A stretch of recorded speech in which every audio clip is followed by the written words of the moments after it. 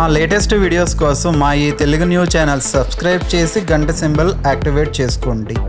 రేపే శ్రావణ పౌర్ణమి అతిపెద్ద పౌర్ణమి. ఈరోజే రాఖీ పండుగను కూడా జరుపుకుంటారు. అయితే ఈరోజు ఈ నీళ్ళను మీ ఇంట్లో చల్లితే చాలు. మీకుండే కష్టాలు ఆర్థిక ఇబ్బందులన్నీ తొలగిపోతాయి. మీరు పట్టిందల్లా బంగారం అవుతుంది. మీకు చక్కటి యోగాలు ప్రాప్తిస్తాయి. శ్రావణ పౌర్ణమి రోజు ఈ నీటిని ఇంట్లో చల్లడం వలన అద్భుతమైన ఫలితాలు రావడమే కాదు మీ జీవితం అద్భుతంగా మారిపోతుంది. మరి శ్రావణ పౌర్ణమి రోజు ఇంట్లో ఏ నీటిని చల్లాలి? ఏ నీటిని ఇంట్లో చల్లితే దరిద్ర బాధలు కష్టాలు సమస్యలు పోతాయో ఇప్పుడు వీడియోలో తెలుసుకుందాం. ముందు శ్రావణ పౌర్ణమి విశిష్టతను తెలుసుకుందాం. రాఖీ పండుగ దేశవ్యాప్తంగా జరుపుకునే ప్రసిద్ధ పండుగ. కుల మతాలకు అతీతంగా అన్ని వర్గాల ప్రజలు ఈ పండుగలో పాల్గొంటారు. ఇది చాంద్రమానం ప్రకారం శ్రావణ పౌర్ణమి రోజున జరుపుకుంటారు. ఈ పండుగను వివిధ రాష్ట్రాల్లో రాఖీ పౌర్ణమి ఈ పండుగను వివిధ రాష్ట్రాలలో రాఖీ పూర్ణిమ నారియాల్ పూర్ణిమ మరియు ఖజారీ పూర్ణిమ అని కూడా పిలుస్తారు. ఈ పండుగ సందర్భంగా సోదరీమణులు సాధారణంగా తమ సోదరుల నుదుటిపై తిలకం పెట్టి వారి సోదరుల మణికట్టుకు రాఖీ అనే పవిత్ర దారాన్ని కట్టి హారతి ఇచ్చి వారి మంచి ఆరోగ్యం మరియు దీర్ఘాయువు కోసం ప్రార్థిస్తారు. ప్రేమ మరియు ఉత్కృష్టమైన భావాలను సూచించే ఈ దారంను రక్షాబంధన్ అంటారు. అంటే రక్షణ బంధం అని అర్థం. బదులుగా సోదరుడు తన సోదరికి బహుమతిని అందజేస్తాడు. మరియు ఆమెను జాగ్రత్తగా చూసుకుంటానని ప్రమాణం చేస్తాడు. రక్షాబంధన్ యొక్క భావన ప్రధానంగా రక్షణ. సాధారణంగా దేవాలయాల్లో పూజారుల వద్దకు వెళ్ళి వారి చేతులకు పవిత్రమైన దారం కట్టుకోవడం మనకు కనిపిస్తుంది.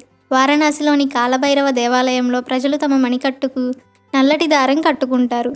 అదేవిధంగా జమ్మూలోని శ్రీ వైష్ణోదేవి ఆలయంలో అమ్మవారిని పూజించిన తర్వాత నుదుటిపై ఎర్రటి పట్టీని కట్టుకోవడం మనకు కనిపిస్తుంది. హిందూ మతపరమైన కార్యక్రమాలలో పూజా కార్యక్రమం ప్రారంభానికి ముందు ఆచారాన్ని నిర్వహించే వారి మణుకట్టుకు ప్రీస్ట్ దారం కట్టడాన్ని మనం గమనిస్తాము. యజ్ఞోపవీతం కూడా అంతే.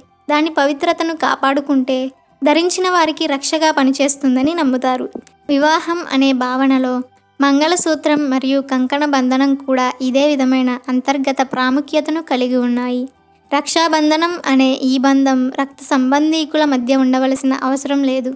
ఒక అమ్మాయి రాఖీ కట్టడం ద్వారా అబ్బాయిని తన సోదరుడిగా దత్తత తీసుకోవచ్చు. ఈ ఆచారం సోదరి సోదరుల ప్రేమ యొక్క బంధాన్ని బలపరచడమే కాకుండా కుటుంబ సరిహద్దులను కూడా అధిగమించింది. సన్నిహితులు మరియు పొరుగువారి మణికట్టుకు రాఖీ కట్టినప్పుడు అది సామరస్యపూర్వకమైన సామాజిక జీవితం యొక్క అవసరాన్ని నొక్కి చెబుతుంది. ఇది వారి దృష్టిని వారి స్వంత కుటుంబం యొక్క సరిహద్దులను దాటి మొత్తం భూమికి ఒకే కుటుంబంగా అంటే వసుదైక కుటుంబంగా విస్తరించడానికి సహాయపడుతుంది. అన్నకు గాని లేదా తమ్ముడికి గాని ప్రేమ సూచికంగా సోదరి కట్టే ఒక పట్టీని రాఖీ అని పిలవడం విశేషం. రాఖీ అనగా రక్షాబంధనం అని అర్థం. ఇది అన్నా చెల్లెళ్ళు అక్కా తమ్ముళ్ళు జరుపుకునే మహత్తరమైన పండుగ. చెల్లి తన అన్నయ్య మహోన్నత శిఖరాలకు ఎదగాలని కోరుకుంటూ కట్టేదే ఈ రాఖీ.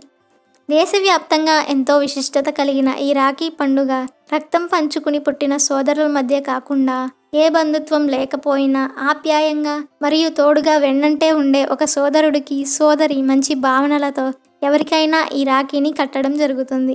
ఇది కేవలం సోదరి సోదరుల అనుబంధానికి గుర్తుగా మాత్రమే కాకుండా ఆత్మీయుల మధ్య కూడా ఐకమత్యానికి చిహ్నంగా కూడా ఈ రాఖీ పండుగను జరుపుకుంటారు.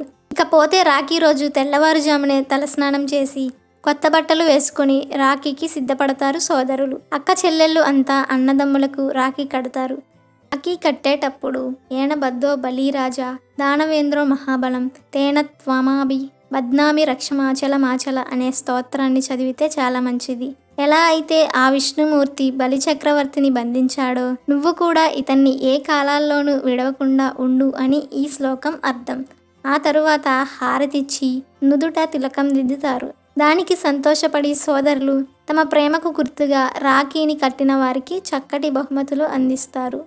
ఇక అసలు రక్షాబంధనం ఎలా ప్రారంభమైందో ఒకసారి చూసుకుంటే పూర్వం దేవతలకు రాక్షసులకు మధ్య పుష్కరకాలం యుద్ధం సాగింది. ఓడిపోయిన దేవతల రాజు దేవేంద్రుడు తన పరివారంతో కూడగట్టుకొని అమరావతిలో తలదాచుకున్నాడు. భర్త నిస్సహాయతను చూసి ఇంద్రానికి వెంటనే ఒక ఉపాయం వస్తుంది. రాక్షస రాజు అమరావతిని దిగ్బంధనం చేస్తున్నాడని తెలుసుకుని భర్త దేవేంద్రుడికి యుద్ధం చేయడానికి ఉత్సాహాన్ని కల్పిస్తుంది. సరిగ్గా ఆ రోజు శ్రావణ పౌర్ణమి కావడంతో పార్వతీ పరమేశ్వరులను లక్ష్మీ నారాయణులను పూజించి కుడి చేతికి రక్షణ తాడుని కడుతుంది. అది గమనించిన దేవతలు అందరూ వారు పూజించిన రక్షణను తీసుకొని వచ్చి ఇంద్రుడికి కట్టగా సమరంలో గెలిచిన ఇంద్రుడు చివరికి తిరిగి త్రిలోకాధిపత్యం పొందుతాడు.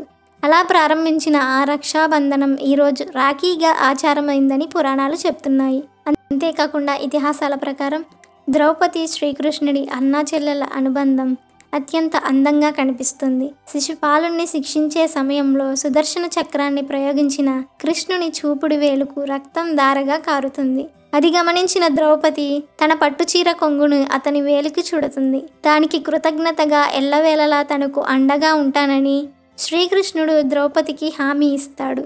అందుకు ప్రతిగా దుశ్శాసనుడి నుండి ఆమెను కాపాడుతాడు. అలా కూడా రాఖీ పండుగ ఆవిర్భవించిందని మరికొందరు చెబుతుంటారు. ఇక ఏడాదికి ఒకసారి వచ్చే ద్వాదశ పౌర్ణమిల్లో శ్రావణ పౌర్ణమికి చాలా విశిష్టత ఉంది. దీనినే జంధ్యాల పౌర్ణమి అని కూడా పిలుస్తారు. సాధారణంగా జంధ్యాన్ని ధరించేవారు ఈ రోజునే పాతది వదిలి తిరిగి కొత్త దానిని ధరిస్తారు. దీన్నే ఉపాకర్మ అని కూడా అంటారు. ఉపాకర్మను యజ్ఞోపవీతం పేరుతో పిలుస్తారు. దీనికి యాగకర్మతో పునీతమైన దారం అని అర్థం. ఇలా అనేక కథల నుండి రూపాంతరం చెంది ప్రతి చోట మంచిని పుణికిపుచ్చుకుని చివరికి ఇలా ఈరోజు మన జీవితాల్లో సుఖ సంతోషాలను ధైర్యాన్ని నూరు పోసేందుకు బయలుదేరిందే ఈ రాఖీ పండుగ.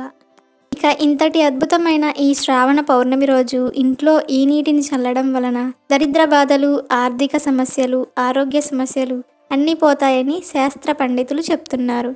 కొంతమంది ఇళ్ళల్లో అస్సలు ప్రశాంతత అనేదే ఉండదు. ఇంటికి వస్తే చాలు మనసంతా ఆందోళనగా మారిపోతుంది. చికాకుగా ఉంటుంది. మనశ్శాంతి ఉండదు. ఇలా జరగడానికి కారణం ఇంట్లో దుష్టశక్తులు ఉండడమే. ఈ దుష్టశక్తులను తొలగించడానికి శ్రావణ పౌర్ణమి అద్భుతమైన రోజు.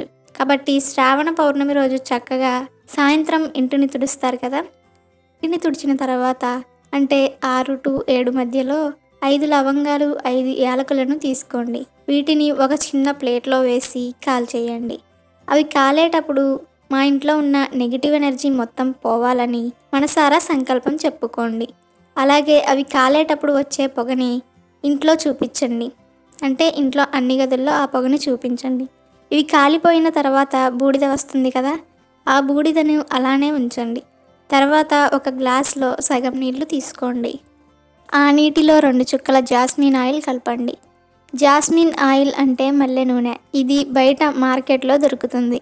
ఈ జాస్మిన్ ఆయిల్ తెచ్చుకొని నీటిలో రెండు చుక్కలు కలపండి. ఆ తర్వాత యాలకులు లవంగాలు కాల్చిన తర్వాత వచ్చిన బూడిద ఉంది కదా? ఆ బూడిదని కూడా కొద్దిగా ఈ నీటిలో కలపండి. ఆ తర్వాత ఈ నీటిని మీ ఇంట్లో అన్ని గదుల్లో చల్లండి. ఏ గదిని వదలొద్దు అన్ని గదుల్లో చల్లండి. వంటగది హాల్ కిచెన్ బెడ్రూమ్ ఇలా అన్ని గదుల్లో కూడా ఈ నీటిని చల్లండి. ఇలా చేస్తే మీ ఇంటికి పట్టిన దరిద్రం అంతా పోతుంది. మీ ఇంట్లో దాగిన నెగిటివ్ ఎనర్జీ మొత్తం పోతుంది. మీ జీవితం అద్భుతంగా మారిపోతుంది. అంతేకాదు జాతకంలో ఉండే దోషాలు కూడా పోతాయి. చాలా చక్కటి ఫలితాలను చూస్తారు. వినడానికి సింపుల్గా ఉన్న ఈ పరిహారం చేశారంటే మాత్రం మీరే అద్భుత ఫలితాలను చూస్తారు. అరవై నిమిషాల్లో మీకే మార్పు అనేది తెలుస్తుంది.